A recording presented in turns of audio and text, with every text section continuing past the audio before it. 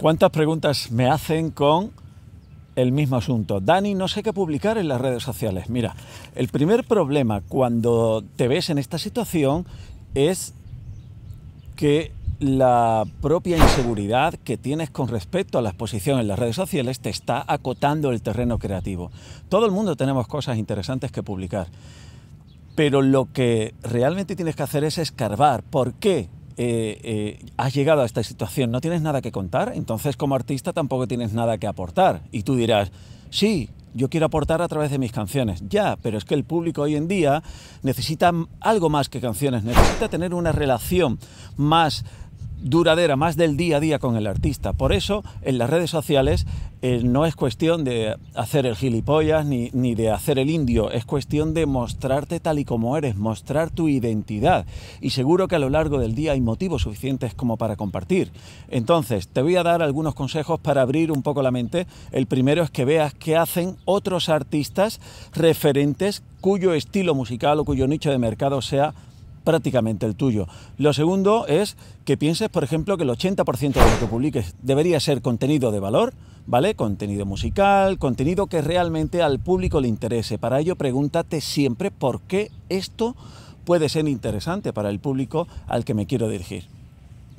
80% contenido de valor, 20% aproximadamente contenido más de índole personal. Evidentemente en una red social como TikTok eh, esto puede variar, ¿no? pero es más o menos para que lo tengas en cuenta. Después hay muchas maneras o muchas ideas que pueden surgir. Si yo fuera artista, por ejemplo, estaría publicando contenido de momentos de composición. Le explico a la gente cómo nacen mis canciones, cómo yo me inspiro, qué hago, qué leo, qué, qué, qué cómo lo hago para activar esa parte creativa en mi mente en momentos de bloqueo. A la gente le gusta conocer lo que habitualmente no se expone en la primera línea, más allá de, de un concierto y ese artista a lo alto de un escenario.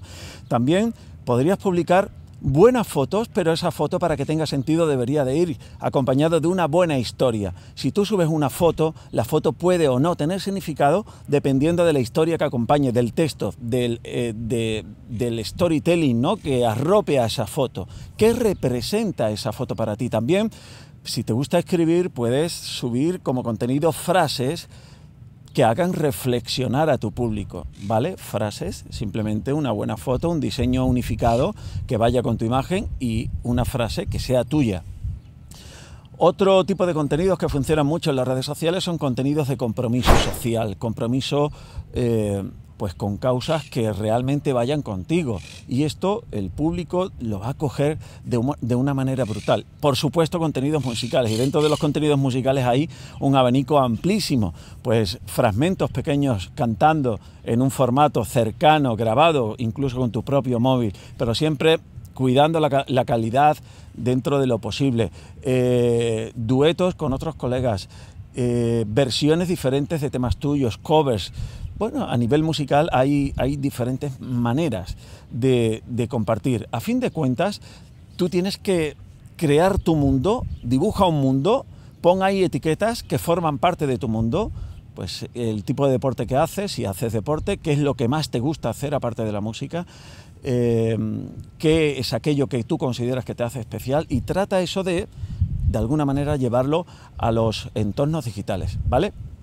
Pero todos todos, todos y más tú, si eh, quieres dedicarte o te dedicas al mundo de la música, tienes cosas que compartir con tu público, porque tú eres un emisor de emociones y al final no puedes dejar todo el peso a la canción. Hoy en día el público está habituado a otro tipo de relación con el artista por el impacto de las redes sociales. Te puede gustar más o menos, pero déjame decirte que esto tiene también cosas muy positivas, ¿no? Es una relación mucho más directa entre el artista y el seguidor si realmente lo haces bien. Así que eh, quítate esas barreritas mentales de la cabeza porque es lo que te está impidiendo el poder mostrar al mundo todo aquello bueno que tú tienes por ofrecer.